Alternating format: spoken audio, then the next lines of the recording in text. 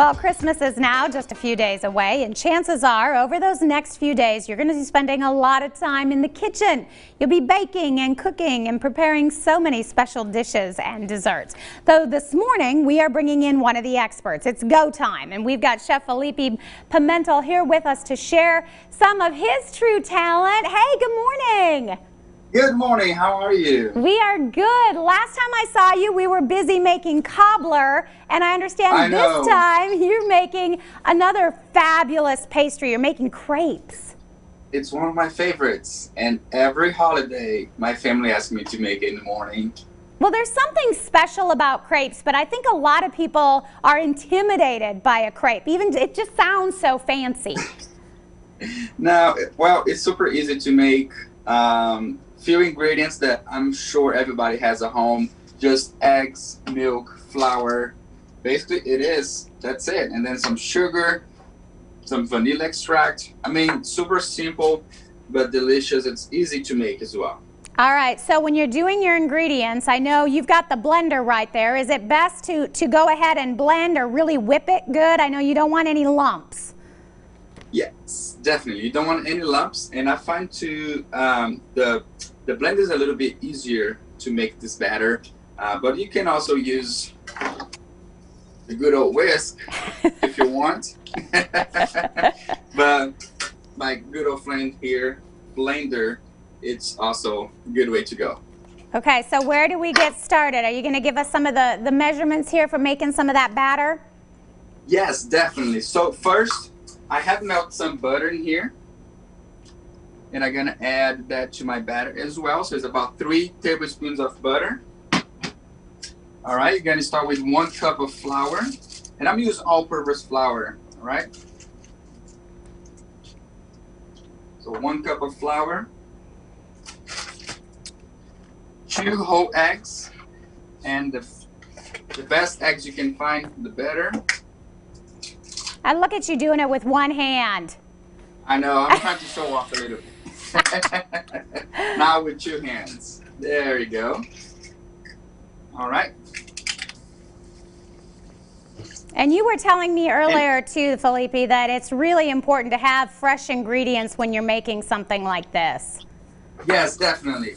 Uh, the best ingredients you can find, like organic milk, uh, farm-raised eggs. Uh, first of all, you normally I try to uh, support smaller business than you know bigger business, and they have such much better quality uh, ingredients that's gonna affect Hmm. your you know final product. Okay. All right, again, you're gonna add a teaspoon of vanilla extract. You're gonna just eyeball it here. There you go. One tablespoon of sugar. So this batter is kind of like a, uh, you can do like savory crepes or sweet crepes. So you can do like ham and cheese crepe. So this batter is like very bland. You can use for sweet or savory. Which do you like the best? Uh, I like the sweet one better. Yeah, me too. the Nutella and the peanut butter and the strawberries, all that good stuff. I know it's so much. All right, so you're gonna add one whole cup of milk. And you're using whole milk there. I'm guessing that makes a big difference. too. I'm using whole milk, but if you wanna, let's say you have a dairy allergy, you can use um, almond milk.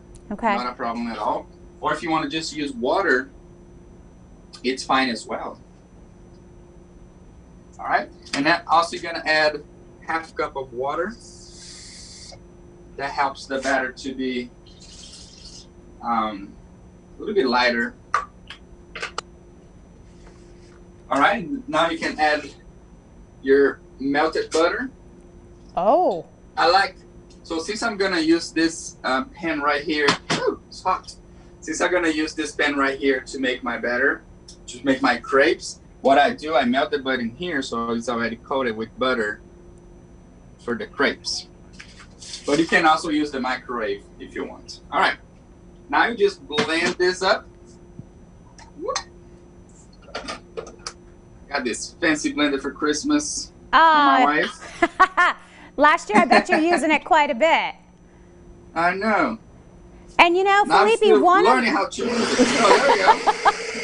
I love it. about the noise. One of the things I think people think about when you think of crepes, especially me, it's one of those things that I'm not sure of my talent, so it makes me nervous to try to make that for Christmas morning. But you say, because we're going to run out of time, kind of walk me through the process of once you're putting it in the pan, because I know that's where it gets a little touch and go for a lot of people. I know, but now it's just putting in a pan. Ideally, it would be for you to let it rest for like five minutes, the batter, but you can go ahead and add it. And it's very important that you have tons of butter in a pan. And then you just let it cook. Is that a pretty high heat that you're cooking it on? I'm cooking a medium heat. You Okay. don't want it too hot. Okay. Actually, a lower heat's much better because the batter is very thin. So if you have like a high heat, it's gonna burn really quick. Okay. You wanna cook that a little bit slower. See? I can already see it starting to set up. All right, Felipe, we are out of time, but thank you so much for sharing your traditional crepe recipe with us. Merry Christmas to you. Merry Christmas. I hope you have wonderful holidays with your family. Oh, you as well. And don't forget, you can always follow him on Instagram and social media. He's always got great pictures. We're going to take a break. Yes.